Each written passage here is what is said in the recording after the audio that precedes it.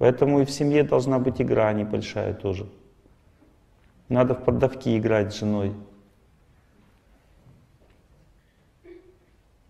Ну, то есть, она говорит, вот так, она серьезно говорит. Я говорю, да, да, да, да, да, все правильно. Хотя сам знаю, что неправильно. Не имеет значения, нет смысла тут доказывать ничего в семейной жизни вообще. Если ей надо, она сама поймет, как правильно. Разве она не может понять? Захочет, поймет. Бывает ситуация, когда надо уговаривать. Допустим, у жены начала расти ну, киста в щитовидной железе. Я говорю, моя хорошая, нужно двигаться. А женское тело ленивое, двигаться не хочется. А муж не вдохновит жену. Я говорю, ну надо двигаться, моя хорошая, ну нельзя лениться, иначе будет расти дальше киста. Прошло два месяца, приходит с анализа, говорит, она больше стала.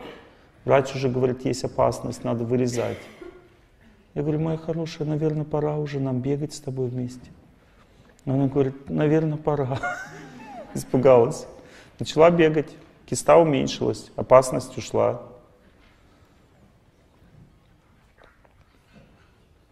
Видите как? И она уже теперь поняла, что надо бегать. Все, у нее уже есть это понимание. Она все равно стремится к этому. Хотя женское тело ленивое, но женское тело хоть и ленивое, но оно сильно вдохновляется подружками. Вот если подружка бегает, как я могу не бегать? Подружка же уже бегает, все. Женское тело, женская психика так устроена. Если подружка что-то делает, она не может уже не делать. Ну как она? Подружка делает, а я нет. Она не может уже все. Ей надо с подружкой обязательно. Потому что так устроена женская психика. С мужем она не обязательно должна бегать. С мужем пусть сам бегает. Муж сам пусть бегает, да? Он же мужик пусть бегает. А если подружка бегает, уже все, уже тут уже не отвертишься. Мужчины, вы понимаете, почему женщины так себя ведут? Что раз ты мужик, должен бегать, пахать, мучиться, и ей это нравится. Знаете, почему женщины так себя ведут, мужчины? Хотите, я вам тайну открою? Потому что они родились отдыхать. Женское тело предназначено для отдыха, не для аскезы. Женщина может совершать аскезу из любви. Когда она любит кого-то, она может для, ради детей аскезу совершать, ради мужа, если она любит, ради подружки с ней побегать вместе из любви. Но ради аскезы она принципиально напрягаться не будет. А если она напрягаться будет из аскезы в женском теле, она с ума сойдет. У нее психика начнет ломаться и плохо станет, начнет тошнить от этих пробежек. Она, вспоминая, будет в холодном поту об этом вспоминать. Поэтому надо снисходительно относиться к женщине, к жене. Вот жена, допустим, говорит, я не могу уже на этой кухне находиться я устал. Значит, ну да-да-да, моя хорошая, все, мы устали. Пойдем отдыхать. Все ее отвести, самому помыть, все. Один раз вы так сделаете, просто за нее помоете, она так будет счастлива, что потом она всегда сама будет мыть. У меня было несколько раз такие случаи.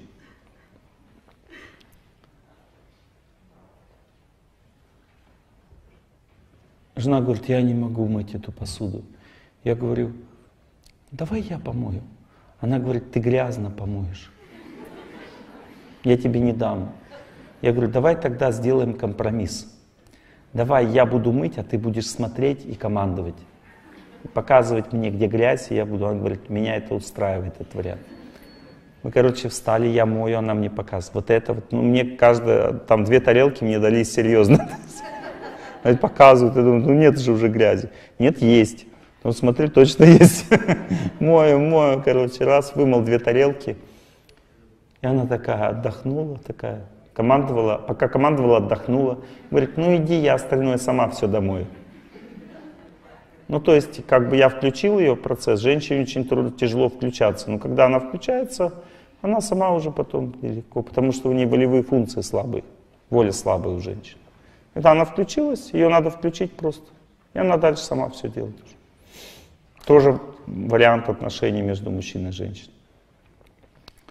Видите, очень ценно знать, чего хочет близкий человек. Вот женское рождение предназначено для отдыха. Конечно же, женщина будет и убираться, и стирать, но это не является как бы сутью ее рождения. Суть ее рождения — это счастье, наслаждение жизнью. Она, когда кушает, она наслаждается. Когда она любит, она наслаждается. Она наслаждающаяся в отношении женщины, наслаждающаяся. А все остальные ее наслаждают. Она с детьми наслаждается. То есть она родилась для наслаждения. Мужчина для чего родился? Для победы над судьбой. Он тоже счастье испытывает, когда побеждает судьбу. Этому мужчине надо просто трудиться, побеждать судьбу, а женщина тоже иногда трудится над собой, она тоже вдохновляется трудиться над собой, но из любви, из любви, а не из аскезы. Поэтому женщины должны учиться искать подружек себе, таких же, как они, которые бы друг другу помогали учиться жить правильно. Кому не хватает такой подружки, поднимите руку. Ну, что вы... Вот да, теперь все встаньте, кто подняли руки, девушки. Встаньте. Посмотрите в зал. Кто кому понравился, стоп, стоим. Кто кому понравился, посмотрите, кто кому нравится, и пальчиком поманите, и потом встретитесь после лекции. Ну-ка, посмотрите, посмотрите, что стесняетесь? А, бестолковый. Договаривайтесь, встречайтесь, общайтесь потом. Для женщин самое ценное — это дружба с женщиной, запомните. Сколько нужно женщин, чтобы дружить с женщиной, сколько нужно женщине дружить с женщиной, сколько женщин должно быть, чтобы выйти замуж. Я вам... Математика у нас пошла. Математика судьбы. Сколько нужно женщин дружить с женщинами, сколько по количеству, чтобы выйти замуж? У кого 5, поднимите руку. Ну, у вас где-то, да, 7-8. У вас дальше кто поднимает? Вам четырех достаточно, женщин.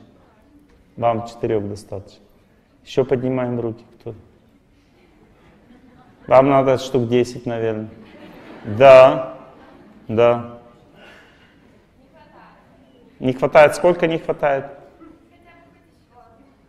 Уже 9 есть, что ли? О, моя хорошая, совсем мало. Такая арифметика. Вам сколько надо подружек? И вы замужем, да?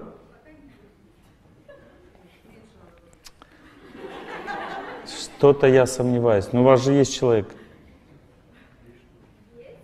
Нету? Нету? Значит, будет на днях.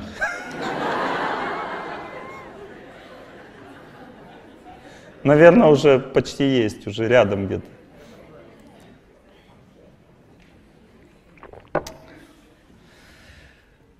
Видите как? Оказывается, вот когда девушка много дружит с девушками, у ней увеличивается возможность выйти замуж все больше и больше, потому что энергия любви вращается, больше и больше ее становится. В какой-то момент она переполняет ее, и все, и дальше она уже начинает сшибать с ног мужиков.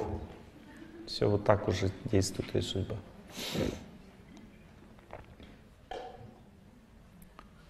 Итак, давайте будем практически сейчас изучать тему. Вот смотрите, я устала от мужа. Что это значит? Какая дистанция, какие отношения, что происходит? Я устала от мужа. Кто может ответить на этот вопрос? Дистанция близкая, понятно. Кто как себя ведет? Муж привязан к жене, правильно. Я устала от мужа. Муж привязан к жене. Что делать? Мягко, по-доброму, сильно воспитывать. Держать дистанцию от него, воспитывать, не подпускать все близко, потому что это приведет к разрушению семьи. Надо знать почему. Некоторые женщины сильно себя за это обвиняют. Говорят, я не могу близость строить с мужчиной со своим, мне противно, он мой близкий человек, он мне нравится, он хороший человек, но мне я устала от него. Что делать? У вас неправильное отношение. Он привязан к вам, вы как бы себя расходуете в отношениях. Значит, надо ему объяснять, давай чуть-чуть дистанцию, не будем так сильно зависеть друг от друга. Объяснять ему, объяснять это, пока он не поймет. И не расходоваться так сильно. Дальше, второй вариант. Я не люблю свою жену. У меня нет к ней чувства хорошего. Что это значит? А? Вот смотрите, я не люблю, когда нет чувства совсем. То да, есть два варианта. Первый вариант, жена привязана, как вы сказали, сильно. Она истощила мое чувство, то есть я устал от ее привязанности. Вторая, второй вариант, это плохой период астрологический. То есть приходит время, и бац, от, вот эта энергия влюбленности заканчивается просто. Раньше времени бывает, а потом опять начинается. Что в это время надо делать? вкладывать, да, молиться, чтобы тебе, ну, чтобы ты не, не был, понимаете, я не люблю свою жену, ну, не люблю, не люблю, что тут такого. Но если ты зависишь от этого, это значит, что ты привязан к ней, а не получаешь от нее, ну, ты привязан, а не получаешь своего. И это бесит, начинает бесить, понимаете? И человек что делает? Привязывается к кому-то другому. Пытается одну привязанность заменить на другую. А что надо делать? Надо просто в молитве победить этот блок и служить своей жене, чтобы благодарность, через благодарность любовь от нее почувствовать. Она благодарна становится, ты ее любишь опять. Мама гнобит дочь. Что это значит? Мать а, хочет, мать хочет эксплуатировать дочь, она привязана к эксплуатации, ее смирением, ее послушанием. Дочь унижена, не может вести себя нормально. Она, у нее низкое чувство собственного достоинства. Дочери надо стать сильной, принять мать, ее вот эту строгость принять, соглашаться с ней, но не поддаваться. Стать сильной, крепкой внутри себя, соглашаться, но жить своей жизнью. И держаться на ней на большей дистанции, потому что если ты чувствуешь, она тебя гнобит, значит ты тоже хочешь от нее материнской любви. Понятно? Если мать унижается перед дочерью, дочь ворчит на мать, что это значит?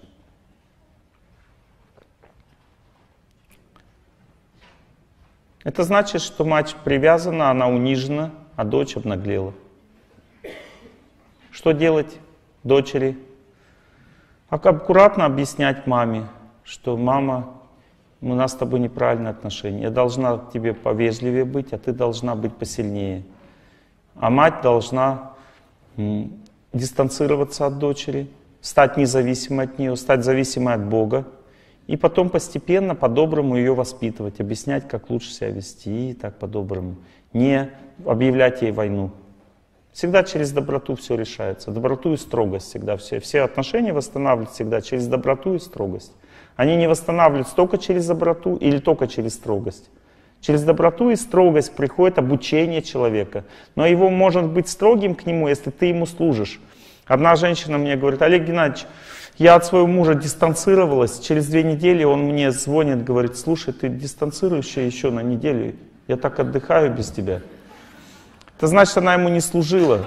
Она ему не служила и дистанцировалась. А у нее благодарности в сердце нет, значит, он ее не ждет. Она его замучила просто. И он отдыхает.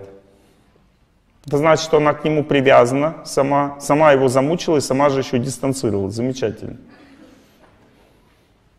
Ну и, конечно, он будет, он отдыхает. Его замучили, теперь он отдыхает.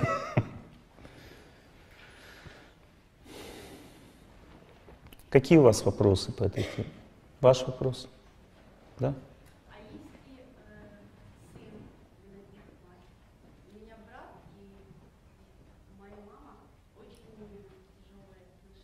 Садитесь, садитесь. Брат и ваша мама. Ага.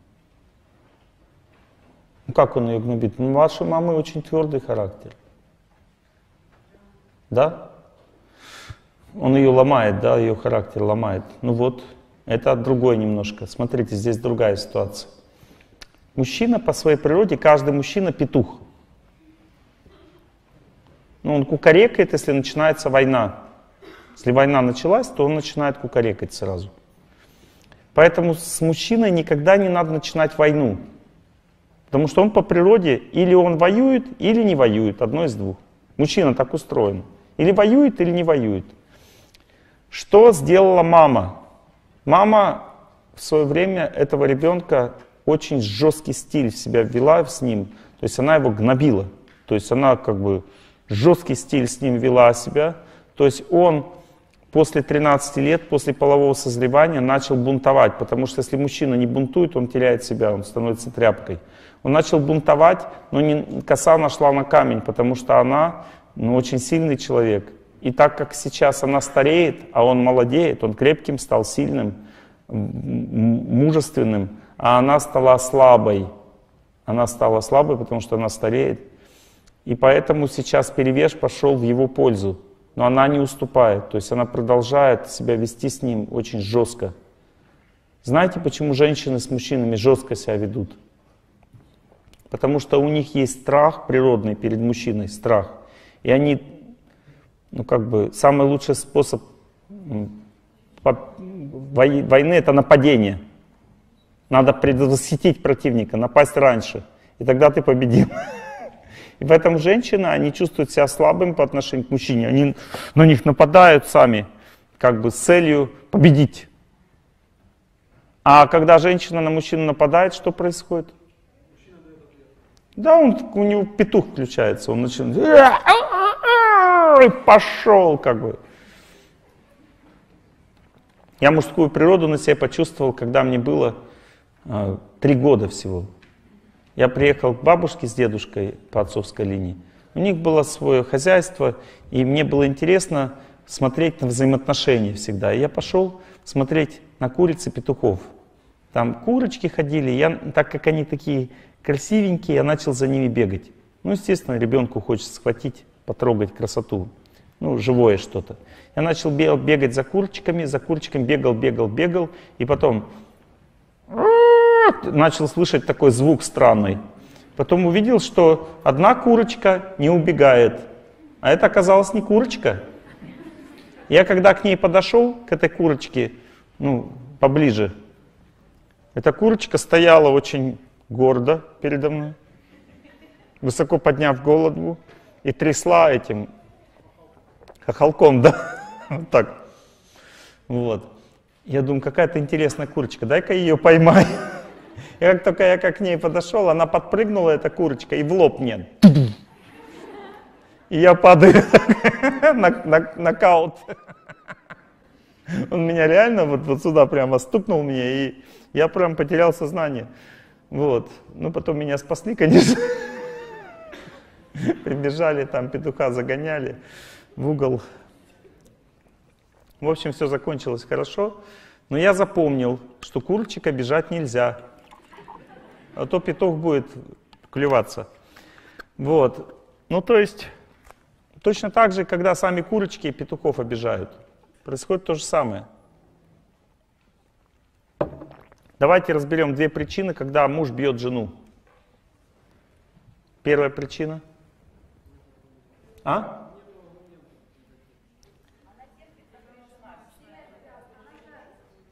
Первая причина не то, что вы называете женщиной. Классическая первая причина, что она агрессивно отвечает на его строгость.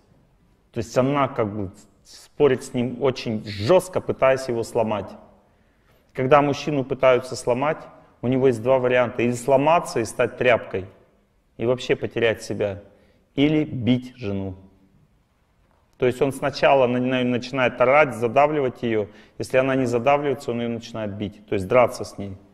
Как с, тем, кто пытается его победить. Ну, то есть он или угрожает ей сначала. Ну, что-то происходит в этом плане. Понимаете, это всегда так происходит с женщиной. Поэтому мужчину побеждать напором не надо. Это неправильное мышление. Женщина должна побеждать мужчину. Два варианта есть. Или молчанием, то есть ушла и закрылась. Или слезами. Слезами самый простой способ. Заплакала, его сразу расслабила. Все. Значит, он уже победил. Все.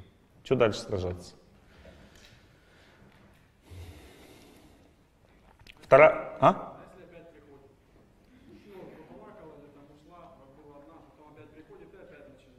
Ну, смотря что начинает.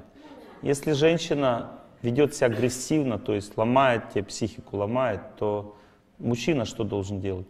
Должен уходить, уходить от этого человека. Закрываться, уходить. Потому что есть два варианта, или ее бить, или уходить от нее. Все. Больше нет варианта. Если женщина ломает вот, психику мужчины, то мужчина начинает вести себя как воин. То есть он такой, как бы, он не может как бы остановиться, его психика рушится. Это очень опасное поведение с мужчиной и женщиной. Очень опасный стиль. Женщина должна, может плакать, может жаловаться ему на него. Плакать, жаловаться, укорять, но не кричать, ну как бы не обзывать, грубить и ломать его. Вот этого не надо. Это мужской стиль поведения, нельзя с мужчиной. То же самое мужчина может, допустим, он может строго себя вести, может молчать, может там раскаиваться. Но если мужчина начинает плакать женщиной, я не могу, это все, у нее психика рушится сразу. Она не может этого стерпеть, и она уходит от такого человека. Она теряет любовь к нему, перестает любить такого человека. Когда женщина ведет себя агрессивно, то есть она пытается сломать мужчину, мужчина теряется любовь. Когда мужчина плачет, у женщины теряется любовь. Это поведение недопустимо. Неестественное, парадоксальное поведение недопустимо в семейных отношениях.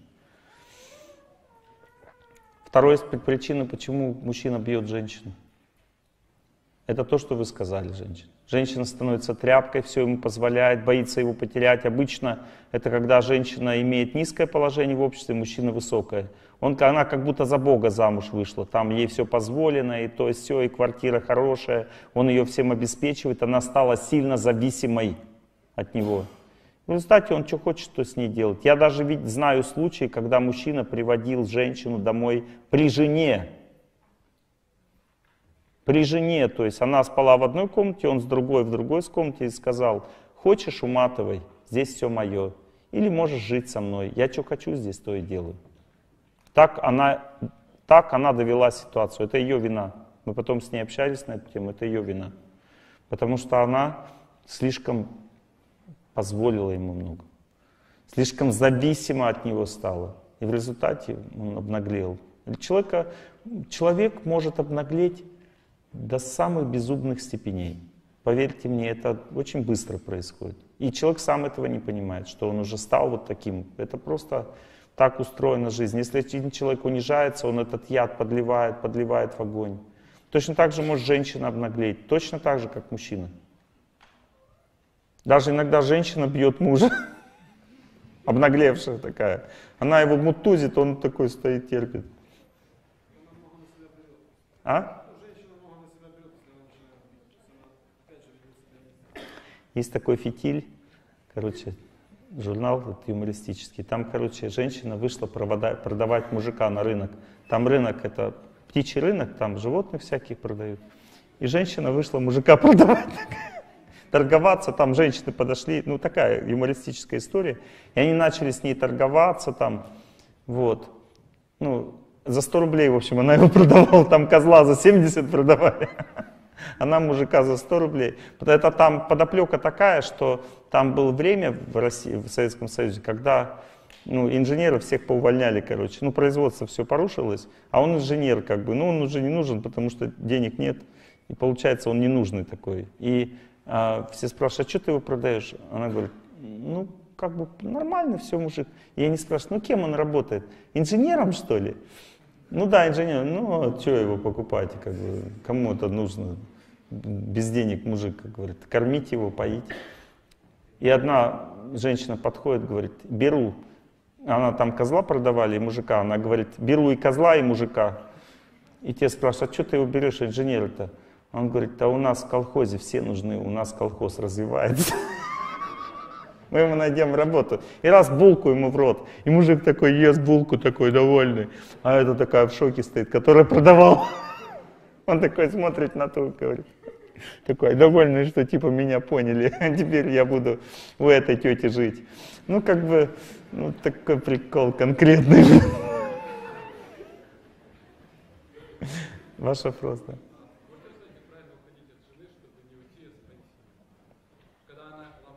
Да, вот супер вопрос. Смотрите, а, тактика поведения такая. В древней культуре объяснялась техника поведения, когда ломается семья. В нашей культуре эта опция отсутствует, понимаете? Люди думают, что когда ломается семья, надо просто или вместе быть до последнего, чтобы тебя сгнобили, или потом уйти навсегда, понимаете? А надо наоборот, в тот момент, когда несправедливость начинается, надо эту опцию всегда иметь, пожить отдельно. И сказать близкому человеку, что я тебе верен или верна, я никуда не ухожу, но я не могу принимать такие отношения. Вот эти отношения, ни ты не виноват, ни я не виновата, просто такие отношения недопустимы. Если начинается мордобой, обзывание, там, хамство или угрозы там, другую женщину, или человек другую женщину уже привел и как бы не хочет тебя бросать, тогда ты начинаешь жить отдельно. И ставишь ему условия там. Потом, когда у него проходят следующие стадии. Понимаете, если человек вовремя уходит, вовремя, тогда тот не может его бросить. Знаете почему? Потому что есть такой закон в семейной жизни. Если ты уходишь и живешь отдельно, значит притяжение начинается из его сердца, а не из твоего. Тот, кто уходит, тот вызывает механизм притяжения. И человек уже не может тебя бросить. Ему, ну как бы вот у него создается такое чувство, что он должен вернуть жену, потому что она как бы живет отдельно. И это чувство его трезвит, он начинает трезветь. И дальше она ему ставит условия, когда мы живем вместе, при каких условиях. И дальше, когда он говорит, я согласен выполнять условия, пробует, но знает, что все равно он с первого раза не получится. Где-то на третий, четвертый раз вот такого жизни отдельно человек может уже потом выполнить условия. Он постепенно становится крепче. Ему еще надо давать знания, в это время подсовывать лекции. Ну то есть в тот момент, когда он нуждается в тебе, человек нуждается также в знании. И в этот момент можно его научить, как правильно жить. Но если вы вовремя не отошли от него, а он начал, тогда потом может быть поздно уже. Допустим, вы перетерпели, перетянули палку, и между вами уже не любовь, а отвращение пошло. И тогда, если вы отдельно живете, он не возвращается. Почему? Потому что вы отношения стали очень гнилыми уже, кислыми, никому не нужны. Поэтому пока притяжение есть, нужно пользоваться им правильно. То есть Человек начал наглеть, раз, пожила отдельно чуть-чуть. Но при этом надо в сердце доброе чувство к человеку оставлять. Да? Не привязываться? Не стать прислугой. Если нет чувства собственного достоинства в сердце, как бы вы ни служили, вы станете прислугой. Нужно всегда быть достойным. Когда женщина служит, она при этом не прислуживается. Она просто ну, приносит счастье близкому человеку. И это не означает, что она унижена чем-то, уни, унижена. Понимаете, знаете, вот в очень крутых ресторанах, в очень крутых ресторанах или в хороших самолетах на хороших рейсах стюардессы и вот эти ну, рестораторы, они ведут себя очень достойно. То есть они никогда не, не прыгают на задних лапках, они ведут себя очень красиво, деликатно, при этом служат. Но при этом они могут сделать замечание, как бы поставить человека на место. Это считается самое крутое обслуживание. Когда у человека есть чувство собственного достоинства, и он кого-то обслуживает, это считается самое крутое обслуживание. Станьте таким человеком. И никогда никто не будет считать вас прислугой. Всегда служите очень достойно. Я же тоже вам сейчас служу. Что, я прислуга? Нет? Просто из доброй воли пытаюсь вам помочь, все. Ну, девушка, вы.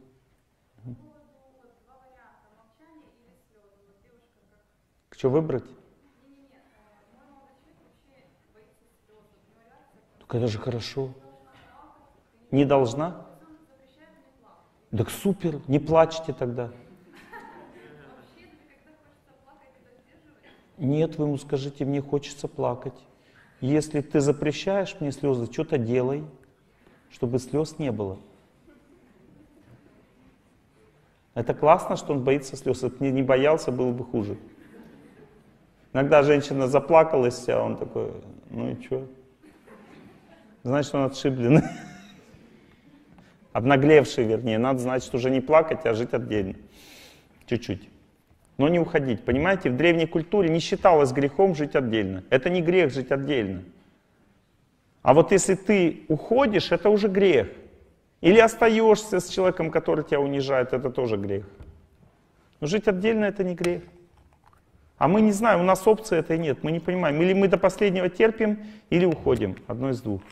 Вот это все грех, и то, и другое. Ну вот вы, женщина, в очках. А, нет, вот сзади. Ага. Спать отдельно, ой, эта тема страшная. Не спрашивайте меня об этом. Как мне в институте, когда учился, меня это, ну, профессор так мне это пошутил. Расскажи мне лекарство от СПИДа. Я говорю, ну вот как бы такое, такое, такое, есть еще одно. И он меня намекал на это, СПИ-1, лекарство от СПИДа, СПИ-1.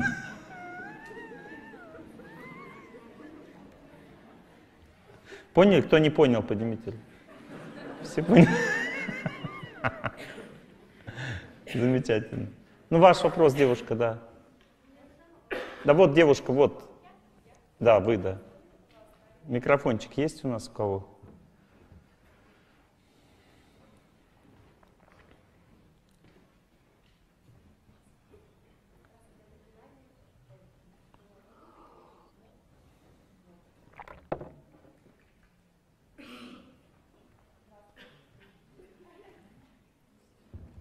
Здравствуйте, Олег Геннадьевич. Спасибо вам большое за знания, которые вы даете, позволяют развиваться. Мне кажется, вот то, что я сегодня говорил, все знают, да?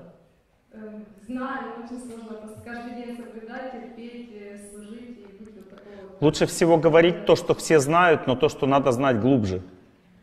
Это самое важное, потому что это знание, которое я сегодня говорил, оно является ключевым в большинстве разводов. Вот большинство людей, которые разводятся, не понимают этого знания глубоко. У меня такой вопрос. Э, Я э, недавно вышла замуж за молодого человека. Я его очень люблю, ценю и уважаю. Для меня он настоящий мужчина, пример всем мужчинам. А Бог? А Бог? Конечно, Бог на первом месте. Я Точно? Конечно. Все, тогда все нормально. Я имею в виду, что э, для меня самое главное качество для него как ну, мужчине, это то, что он добивается всего сам, старается делать э, многое для людей, для меня, старается быть добрым, верным, ну, много положительных качеств я в нем вижу и стараюсь видеть всегда в любой ситуации. Но вот такая вот ситуация сложилась, что его материальное положение э, намного ниже, чем у моей семьи. У него, э, он старается добиться всего сам, и э, Ой, моя хорошая, столько уже рассказали, теперь слышать какое-то «но» уже как-то неинтересно. Я сейчас объясню. Мои родители, они пытаются всячески материально помочь нам. Мы безумно за это благодарны, но... у Не надо, не надо, не нужна помощь. Вот у меня возникает уже страх, что... Да, это опасно. Расслабиться. А это всегда раз. Вот, вот понимаете, если, ну, допустим, мужчина сражается, да, у него меч и щит, и ему дают еще один меч. Говорят, вот тебе два меча, а у того противника только один. Все, вот этот, у которого два, проиграет, потому что он расслабляется. Вот мой отец, он старается дать какие-то- какую-то материальную сейчас Ни в коем случае. Ни в коем случае. Для того, чтобы бизнес развивать, первый шаг – аскеза. Второй шаг – хорошие качества, привлекающие людей. Третий шаг – хорошая команда вокруг тебя. Четвертый шаг – на, маленьком, на маленькой схеме ты отрабатываешь бизнес и понимаешь, как он работает. Четвертый шаг – связи. Пятый шаг – расширение коллектива. Шестой шаг – финансирование. А. А вы хотите сразу деньги, и тогда что будет ноль? Вот я не знаю, как мне родителям это объяснить. Я потом уже со временем начинаю узнавать, что мой отец разговаривает лично с моим мужем, предлагает ему помощь, давай тебе дам какой-то стартовый капитал, ты разовьешься там. И я начинаю замечать, что, по-моему, у них уже какой-то... Мое мнение такое, что это очень опасно. Я уже сейчас вижу, что будет разочарование в вашем муже, у ваших родственников дальше. И потом дальше разруха. А как мне поступить, правильно? Как предупредить эту ситуацию? Разговаривать с родителями? Или молитва, или молитва. Если есть возможность объяснить все вашему мужу, если он слушает мои лекции, тогда этот вариант самый лучший. Но если он не слушает и в объясне- возможности объяснить нет, когда молитва, чтобы он прозрел. Здесь все зависит от, не от ваших родителей, а от вашего мужа. То есть мне общаться э, именно с мужем, с Богом, с мужем. То есть с родителями эти разговоры не вести, не объяснять, не надо. Нет, это они всегда будут э, пытаться помочь. Да. Но это нормально для родителей пытаться помочь. Но мужчина должен сам иметь голов- ну, как бы голову на плечах. Вот знаете, даже когда мужчина говорит, я ну, готов принять помощь, когда я буду к этому готов, это более высокая, это более сильная позиция, понимаете? Ну, то есть мужчина не, не против принять помощь, но он знает, что главная помощь должна исходить из него самого. Спасибо большое. Мужчина, любой мужчина, деньги разрушают все. Любого человека, испытание деньгами, есть три испытания. Первое испытание называется огонь. Когда у человека не хватает на жизнь средств, возможностей, у него низкое положение в обществе, надо плохо, много работать, несправедливости много вокруг, и у него горит сердце. У него сердце горит, ему плохо жить, тяжело. Первое испытание называется огонь. И человек поэтому должен обратиться к Богу. Когда человек обращается к Богу, он получает благочестие, то есть он начинает делать добрые дела. Добрые дела откладываются его в сердце и притягивают удачу. Добрые дела. Он становится богатым от добрых дел. Благочестие копится внутри, человек становится богатым от добрых дел. Наступает второе испытание, называется вода. Что это за вода, за испытание? Это деньги, возможности, влияние. Когда человек, испытываемый водой, очень сильно расслабляется. Человек, испытываемый деньгами, э, огнем, очень сильно напрягается. И из-за этого напряжения рушится его жизнь. Когда человек испытывается водой, он расслабляется, становится слюнявым, ленивым, становится, у него концентрация внимания падает, он уже не понимает, как правильно поступать, его психика становится, ну, не боится опасности. Опасности приходят и разрушают его жизнь. Поэтому испытание водой преодолевается с помощью аскезы внутренней. Не обращать внимания на деньги, делать добрые дела, стараться молиться, думать о Боге. И просто зависеть от своих поступков, а не от денег. Перестать быть собачкой, которая смотрит на деньги и дышит им в рот. Вот. Следующее испытание, когда человек ну, отрекается от денег, хотя их имеет, начинает использовать их правильно, разумно. Много, разумность приходит от благотворительности. Когда человек может жертвовать деньги, он может также их экономить. Когда человек не может жертвовать деньги, он их не может экономить. Понимаете, он сильно привязан к ним, поэтому он сильно их вкладывает. Он сильно их вкладывает, не может... У него нет ресурса, это все... Вот, допустим, много денег вложил в деятельность, нужен большой ресурс надежных людей, специалистов, которые с этим будут заниматься. Нет ресурса людей, значит, тогда эти деньги все об- обваливаются. И ты потом за них будешь платить еще, потому что если ты их взял у кого-то, значит, тебе придется отдавать.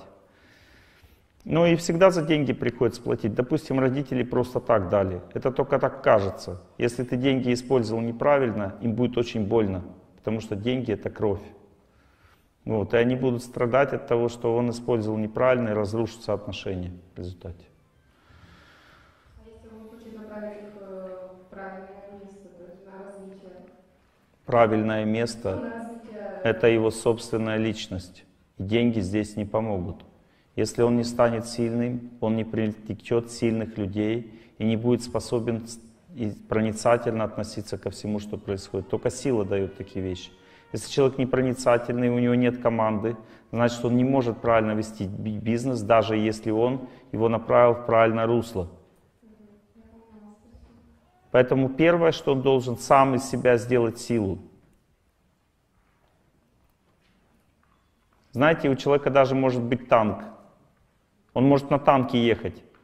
Но когда на него нападают прямо с танком, он будет развернется и будет текать прямо с танком, понимаете? А на него нападают просто солдаты. Почему он с танком уезжает? Потому что он боится. У него не хватает силы внутренней. Надо сначала силу обрести. Молодец, молодец, все отлично. Вы сами, главное, все поймите. Потом это для всех хорошее. Следующее испытание, когда человек отрекается от денег, он не зависит от денег, он зависит от своей внутренней силы. Приходит следующее испытание, называется медные трубы. Туду-ду, туду. Вы такой хороший человек. Ну, слава, страшное испытание. Слава, гордость вносит в сердце совершенно незаметно. Если человек не чувствует, что он постоянно все делает для своего наставника, для старшего, если у человека, который достиг славы, нет старших, его размажет гордость по-любому. Никто не может защититься от гордости, потому что гордость входит в сердце абсолютно незаметно. Ее не видно в себе. И это факт.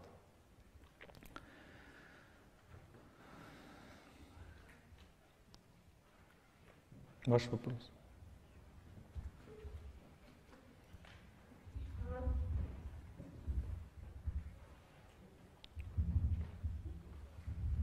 Да, еще хочу вам сказать насчет деятельности одну вещь, что на самом деле люди думают, что там, где раз, развитая страна, там деятельность более перспективная.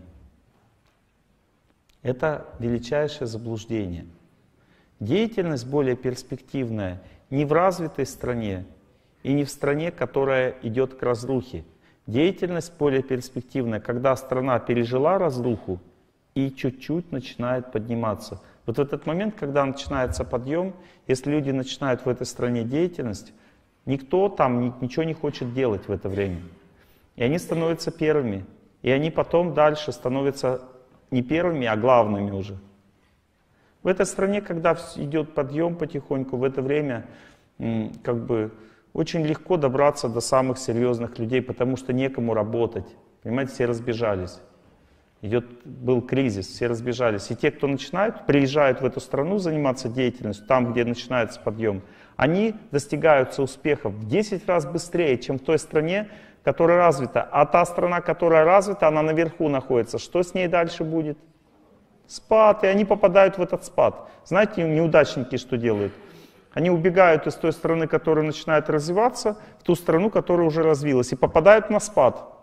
Проживут там 10 лет, дойдут до ручки вместе с этой страной, потом думают, о, там, где я жил, теперь там развились. И опять туда приезжают, там опять спад пошел. И так они бедные бегают туда-сюда все время несчастные. Ну, что же мне так сильно не везет? А ты приезжай в ту страну, которая только поднимается. Как раз попадешь куда надо.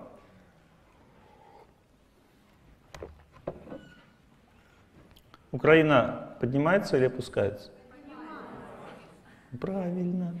Я вам говорил это уже еще в прошлый приезд, что пошел потихоньку подъем, а вы мне тогда не верили. Сейчас уже начинают чувствовать сами потихоньку. Еще пройдет год, еще больше будет подъем. Идет подъем, все нормально.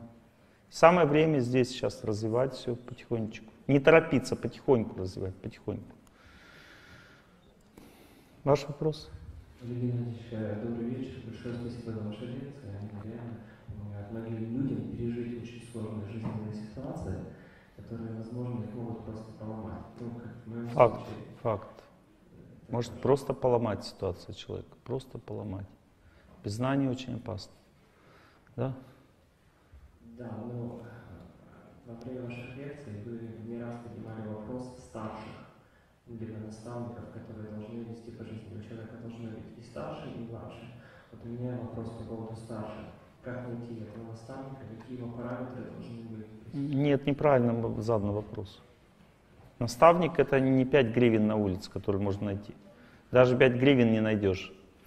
Никто не будет бросать.